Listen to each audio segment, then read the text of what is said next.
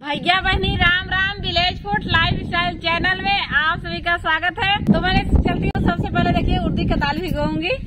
तो हमारे साथ दोस्तों, बने रहिएगा। अच्छा लगेगा वीडियो को लाइक शेयर कमेंट करना। मैं चलती हूँ। तो चार घंटा के लिए मैंने उर्दी की दाल अच्छे से भिगो कर इसको रखूँगी। देखिए उड़द अच्छे से देखिए, हमारी फूल गई है। इसको अच्छे से धुल के मैं साफ़ करूँगी। जो इसमें छिलका है, वो बाहर निकल जाएगा।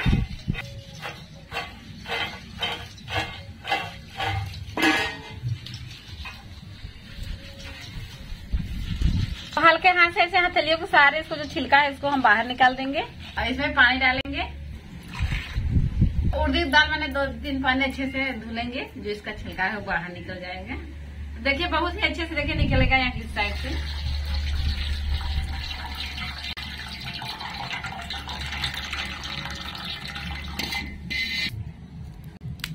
तो देखिए, दीदी हमारे छिलका लहसुन का उसको हटा के रख लेती हैं, उसके बाद सिलबट्टे से उर्दी की दाल पीसेंगी।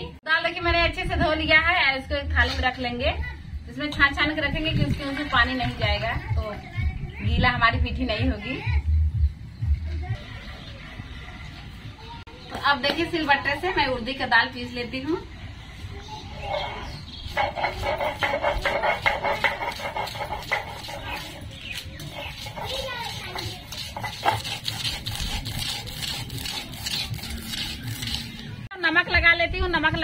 देखो जल जाएगा, बहुत ही अच्छे से साफ़ हो जाएगा तो मैंने अच्छे से घुमाते हुए लगा लेती हूँ।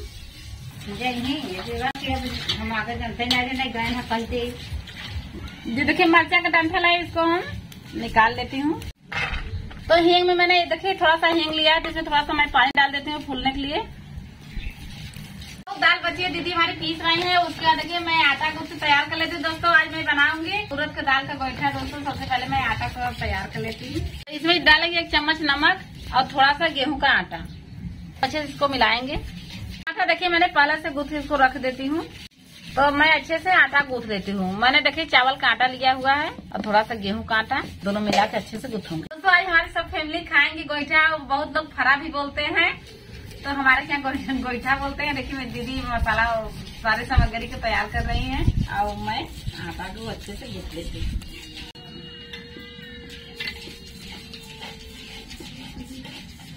तो आटा मैंने बहुत ही अच्छे से, देखिए गुथ लिया है। तो इसको 10 मिनट अब आटा को ढक के रखूँगी।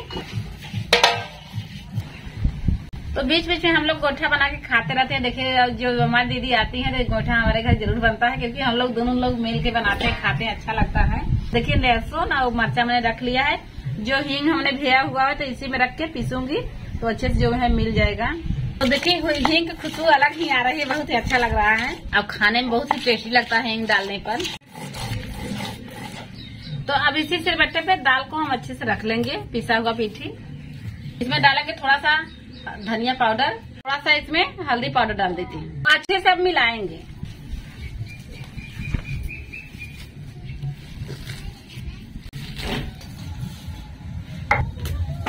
तो इसी डिश की मैंने गोईठा बनाऊँगी तो सबसे पहले इसमें कड़ू का तेल डाल देती हूँ। अब कड़ू का तेल डालने से देखिए डिश की हमारी गोईठा पकड़ेगा नहीं, बहुत ही अच्छे से, अब पकेगा। गाँव में ऐसे दोस्तों हम लोग बनाते, खाते हैं, बहुत ही टेस्टी लगता है खाने में। तो चारों साइड देखिए हाथ से घुमाते हुए मैं सरसों को तेल लगा देती हूँ।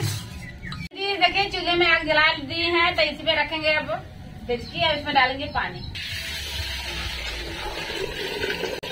इसमें डालेंगे एक चम्मच नमक। अच्छे से हम पानी को उबलने देती हूँ। तो देखिए, पानी हमारा बहुत अच्छे से खौल रहा है। अब इसमें हम गोईठा बना के इसमें डालूँगी। तो इसमें देखिए छोटा छोटा इसको हम लोई को तोड़ेंगे। तो आप बड़ा छोटा बना सकते हैं। तो देखिए मैं इसी साइज़ के बना रही हूँ। हाथ सहारे इसको थोड़ा थोड़ा इसे दबाते हुए बड़ा करेंगे। हल्का सा इसमें नमक लगा देते हैं। थोड़ा सा मैंने देखा पहले से आटा में डाला हुआ है, थोड़ा सा इसे पानी के समय डाला हुआ है, थोड़ा सा इसमें। तो नमक हमारा परफेक्ट रहेगा। तो अब ऐसे हम अच्छे से इसमें भरेंगे। तो दोनों हाथ से देखिए, ऐसे में हल्के हाथ से इसको दबाएँगे। तो देखिए, पहला हमारा गोठा बन के रेडी हो गया है। अब ऐसे हम उबलते हुए इसमें डालेंगे।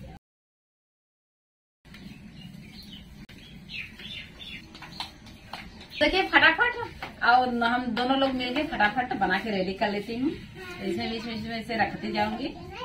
और दोनों हाथ से देखिए, इसे दबाते हुए। और फटाफट इसमें उबलने के लिए मैं डाल देती हूँ।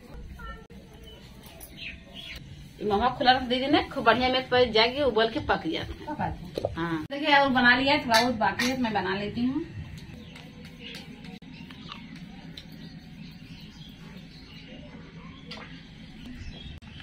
दोस्तों, आप लोग पास देखिए, बहुत अच्छे से उबल रहा है। तो ऐसे में बना के डालते जाऊँगी, पकता जाएगा, देखिए। अब देखिए मैंने ढेर सारा लोई लोई बना के रख दी है, मैं ऐसे बना लेती हूँ। तो धीमी धीमी आँच से पकाऊँगी, और धीमी आँच से पकाएँगे तो बहुत अच्छे से हमारा पक जाएगा। इसमें लगा देंगे हल्का सा ढक्कन। अब हम चेक कर लेती हूँ। तो आप लोग आइए, पास से मैं दिखाऊँगी। बहुत ही अच्छे से देखिए। उबल रहा है धीमी धीमी आँच में।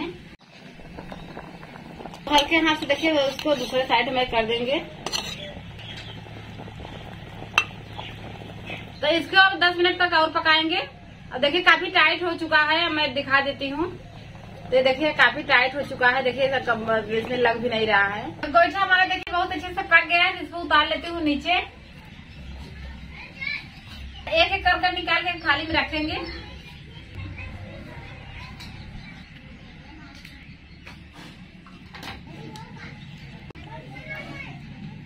देखिए, इसको सासू माँ हमारी पनबुट्टी बोलती है, क्योंकि पानी में पकता है।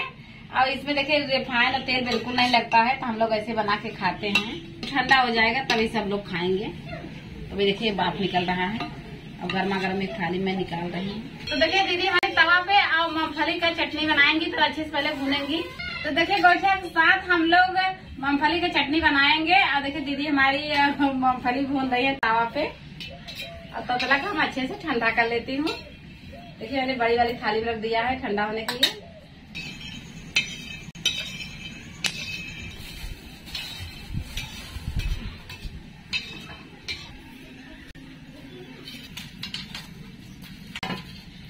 तो चटनी बनाने के लिए मैंने देखिए टमाटर को काट लेती हूँ।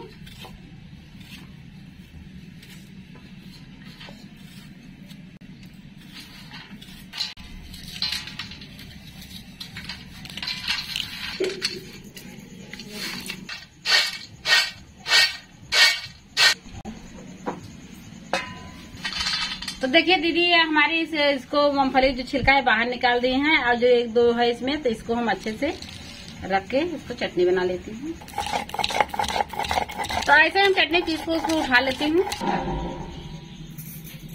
तो देखिए, बहुत अच्छे से पका हुआ है। तो एक थाली में इसे हम निकाल लेती हूँ।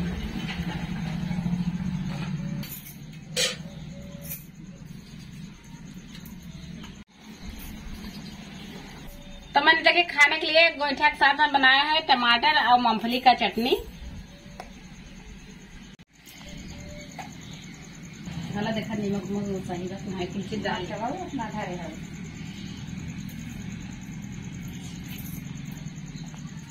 मैं देखिए, अच्छे से इसको ढक के घर में रख देंगे, उसके बाद हम लोग खाएँगे।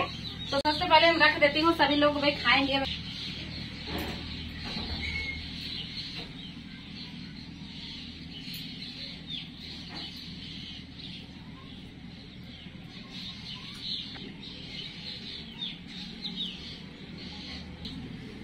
अब हम लोग खाएँगे, देखिए ससुमा हमारी खा के पानी पी रही हैं और अच्छा बा दीदी हाँ ठीक है।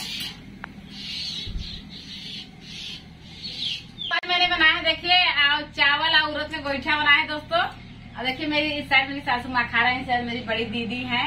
दोस्तों, अगर आज का हमारा वीडियो अच्छा लगा, दोस्तों, हमारे वीडियो को लाइक करना शेयर करना कमेंट करना। मैं फिर मिलूँगी एक नए वीडियो के संग, तब तक लिए राम राम।